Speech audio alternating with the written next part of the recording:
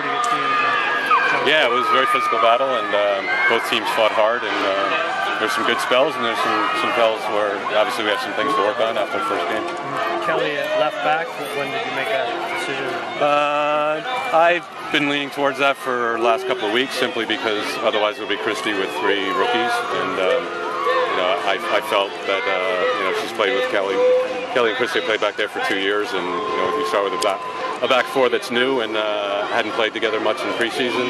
Uh, I thought it was kind of a safer way to go and, and keep Kelley back there. And a back four that handled Abby pretty well, you think? Uh, yeah, I mean, you know, we could we could afford to play a high line, but she she's always going to win the ball in the air, and uh, you know that the game plan against them is you got to deny the serves into the box. And uh, I thought our defenders and our midfielders did a good job of that, and even our forwards, for the most part, stepping and getting good pressure on the ball to deny that serve into. Uh, you know, I think uh, you know we're certainly fortunate. I mean, safe penalty, crossbar, and a chance at the end that never should have happened. Also, the keeper played nice, like pretty much a show on both sides. They, they were both fantastic. I mean, uh, two great saves from, from Franch and uh, and Britt saving the penalty. I mean, that was a huge huge moment for us in the match to, to get our confidence back. Yeah, it's been two years since you, you, you played the game here. What's what's been the differences, and what seemed the same tonight?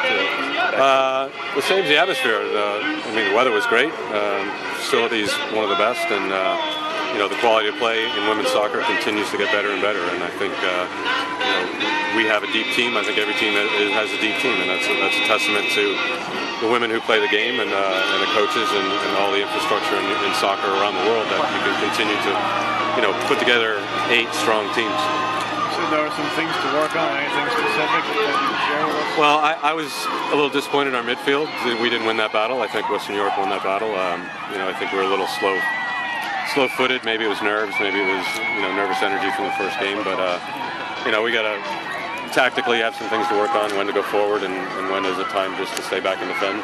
Um, and I think we, we, made some adjustments at halftime, maybe, maybe looking to be a little more direct over the top to Lisa.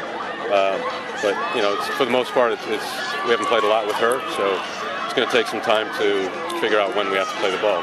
She's so fast, you got to play it a lot earlier than than you're used to playing it is it a good sign that uh, you know a couple of years ago you always had things go against you at the end of the games, and now you have the ball one back's foot? Yeah, yeah, it was a great sign. uh, thank, thank Abby for, for, bailing me out there. So.